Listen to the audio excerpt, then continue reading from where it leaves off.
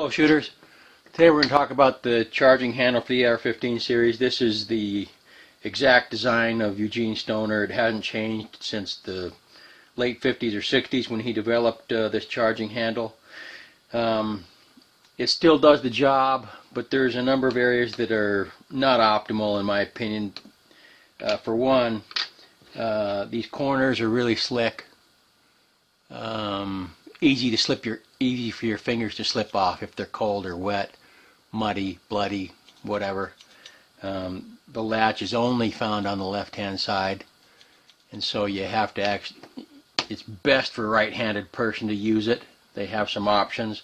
For a left-handed person or if you're running it from the other shoulder um, you have to actually reach around and grab uh, both sides. Working from the right side you don't have to working with the right hand, you don't have to grab both sides. Working with the left hand, you do have to grab both sides and pull it back. Um, and this the uh, the target to hit, the latch here isn't very big. As you can see, it's kind of small. And the, the very corner of it is rounded, which is kind of slick. Uh, then in, in, the in the 80s, a company called Badger Ordnance came out, and they had a different latch handle notice that this is exactly the same, exactly the same size and uh, and everything. The only thing they changed was the latch. They made it just a little bit. They made a, lot, a much larger larger target to hit. Made it easier to manipulate either right or left-handed because you had a, hard, a, a larger target to hit over there. And then a few years ago, Bravo Company came out with a, an improved latch mechanism, but still, everybody that's made improvements to the AR-15 charging handle, all they've done is made improvements in the latch. This part of the design has always remained the same. And this part of the design is part of the problem because of its, its rounded and slick, slick nature. Then, uh, just recently, a company called AXTS, they really have come out with a better master, mousetrap. Notice the difference here. They didn't they cleaned the slate. They decided to start from ground zero. This this part is always this this is the same, but back here they just totally revamped it, brought it into the 21st century. Uh, it can be operated equally from either side. Look at that. Um, it's got nice and large uh, grooves or jimping or stippling or whatever you want to call it on uh, both the front and the rear face of that. But look at the shape of this. This is where it really stands out. These are basically a T handle. As you can see, it, it forms a T. And a sloping T at that. So if you could imagine, you know, uh, either this force coming back or just coming back like this with the hook of your finger or the palm of your hand, um, you know, that slick feature is not a good thing. This, Raptor, it's because it's, it's kind of like a claw. There's, there's absolutely no way you're going to slip off this thing, no matter how you actuate it.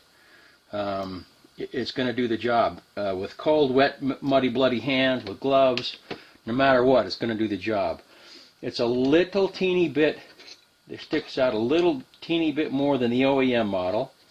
Sticks out a little bit teeny bit here, more so on this side. That's so that it can clear the forward assist. And you'll see that when I, when I bring a rifle out that has that on there. Um, Notice the size of the roll pins. These are ginormous compared to the minuscule roll pin there and a minuscule roll pin there. Um, uh, this is really, really, really a slick deal. I, I, I love this Raptor charging handle by a AFTX. Um, uh, let me uh, let me bring a rifle out with it on there, and I'll, I'll show you how it works.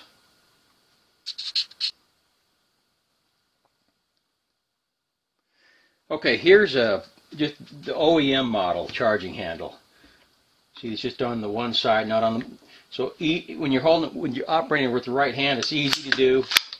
You can do it a, number of different ways, um, or you can come up over the top and use both fingers. But when you're operating from the left side, your choices diminish. You can't operate it at all this way. You have to come over the top and grab both and go. You don't have a choice. Uh, so there's the OEM model. Notice how it's kind of small there. easy to miss, easy to slip off of. It still does the job though. I mean, for five or ten bucks, whatever it is, it still does the job. But uh, for my uses, it is uh, it's subpar. And uh, let me show you uh, the Badger ordnance. Okay, here's the Badger ordnance. Uh, notice it has a much, it sticks out farther, which is good. Easier to hit.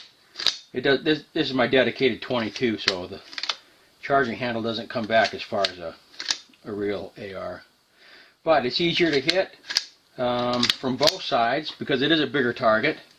If I'm holding it left-handed, I obviously still, whoops, I can't, I can't operate it. I still have to come over, but it makes it easier to hit that target. But that is a little bit too, it, it, it does stick out a little bit too much.